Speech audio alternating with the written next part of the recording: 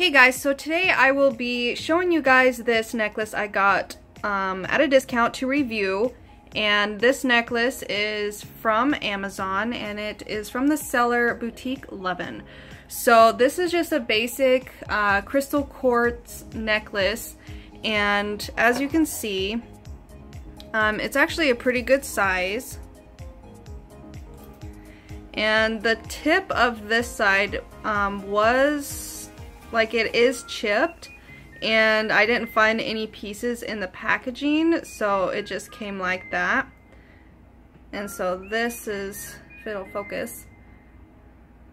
So it's just uh, dipped silver and then it is a long necklace. As you can see in the pictures I also um, added on the blog review which all that will be put in the description down below and it did also come in this little bag to protect it.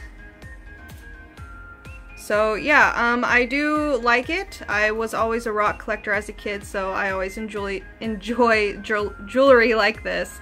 Um, but yeah, it does have like some cracks in it, which uh, you get with natural stones. So this is a real stone. So every single one um, that they ship out to people will be completely different than the other. So this one is completely different from the one on their product page on Amazon um, because theirs looks like that. You guys can kind of see there. And it is only $9.99 right now.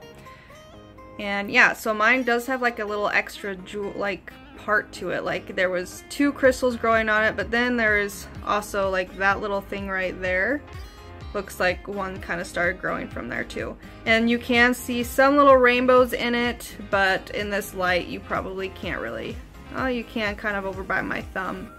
But yeah, so if you're interested in this product, go ahead and uh, click the link in the description below. It'll take you to my blog page where I reviewed this product on there, and you will be able to order it from Amazon from there.